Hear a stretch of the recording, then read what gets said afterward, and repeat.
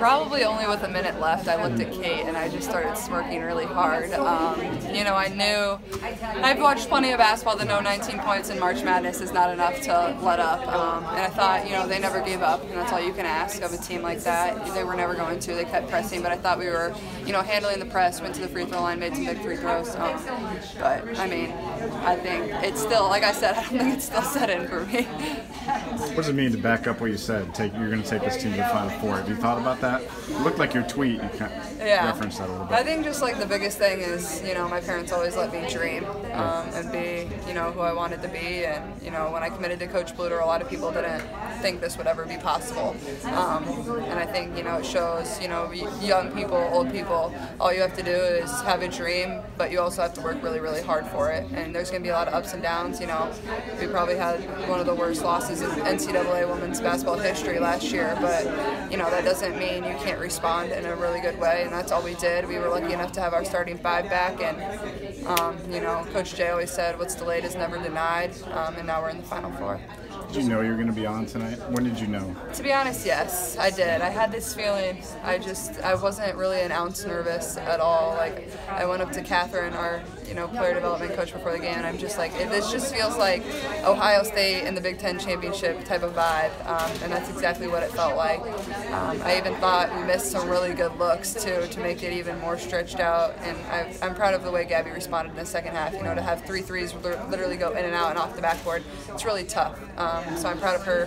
But you know, I, I knew it was going to be a good night for us. You got a, uh, a special guest at practice yesterday, was it today? This morning, yeah. What was that? Sue Bird came. Yeah. And, uh, there's that video, and everyone's freaking out. What yeah, I actually had heard about the surprise a okay. little bit before, and Sue reached out to me um, before this started, and just you know, she told me she couldn't come to our first game, so she said she, we better win so she can come and see us in person. But um, one of the greatest basketball players of all time, um, somebody that's really helped grow the game, and you know, somebody I idolized growing up and still do idolize. I think she's not only a tremendous basketball player, but a tremendous person, and um, to get to talk to her for a little bit was pretty incredible, and just inspire you know all the girls on our team. So a special moment, and I'm really thankful to have somebody of like you know that high of caliber come into your practice and take the time, and um, you know I don't know, just share some words of wisdom is, is pretty special. Getting Lisa to the Final Four, what does that mean? You know, Coach Bluder deserves it. Um, she's one of the best coaches of all time, and I don't think she always gets the credit she deserves, but um, she's a Hall of Fame coach. Um, there's no doubt about that. Um, and she, you know, just works her butt off. Um, like, I mean, there's been ups and downs. You know, she's coached me. There's been, you know, moments she's yelled at me. Um, we've shed tears. You know, she loves me like no other. and just to be able to do it for her and you know talk, do everything that we talked about and dreamed of when she recruited me is pretty special. So um, you know I just love our coaching staff to death. They've been at it for quite some time in the most respectful way possible, um, but they deserve it, and I love them, and I hope they enjoy this as much as we do. Have you thought about playing in Dallas next week yet? Uh, yeah, it's gonna be really fun. I'm gonna enjoy every single second of next week. I think that's How did you handle today? Like just you know, just like every other day, I think. Um, you know, I slept pretty good last night, but I woke up and I'm like, I'm planning to go to the Final Four today. I think that's pretty incredible and not an opportunity a lot of people get. So um, went through our normal routine, and I think you know everybody was planning to go to Dallas. It was like, who's gonna do our laundry when we get to Dallas? Who's gonna this and that? I told my mom like, I need you to go buy me some more clothes because like I have stuff to go to in Dallas. So she went shopping for me this morning.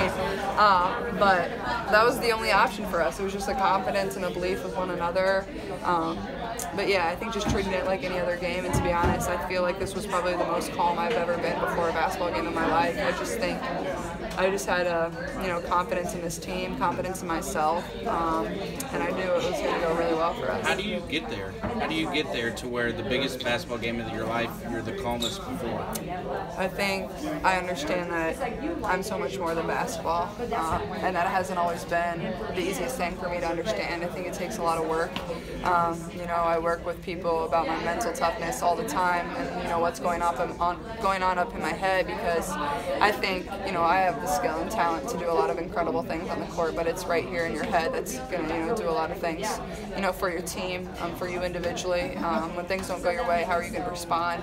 Um, and I think that's honestly been the difference for me this year. You know, I've put up the same stats, I've done all the same stuff. It's just right here that has changed. So, um, you know, I think that's the biggest growth I had to take for this team to get where we are right now. What's your prevailing emotion? Like, Oh, I don't even know. It's just like I'm exhausted, but um, I couldn't be happier. Um, I, like I said, I don't think this is really going to sink in for a while, um, but I'm just going to try to enjoy every single second of it because um, this is incredible. Um, it's what I've dreamed of. Um, it's so hard to get to this point. And I'm just grateful that I get to do it with this group because not only are they my teammates, but they're my best friends. So it's what makes this so fun. so you never, did you ever let it creep into your mind, like, what if we don't make the most of this opportunity? Or did you, you were just, Honestly, I was just dialed in. Um, I didn't think that was ever an option for me. Um, it was we were going to do this. and we have every piece. It just felt like our destiny has really aligned in this tournament. I've always told you, you know, you need things to kind of work in your favor. You need some upsets. You need, you know, a little luck. You need shots to fall. You need calls to go your way. And it feels like we've got a lot of that this tournament. But by no means does that take any way from anything away from us or the opponents we've played. I thought everybody has played us tremendous, and we've responded in a lot of great ways. And you know, we've just played it with the confidence about ourselves. That's really incredible.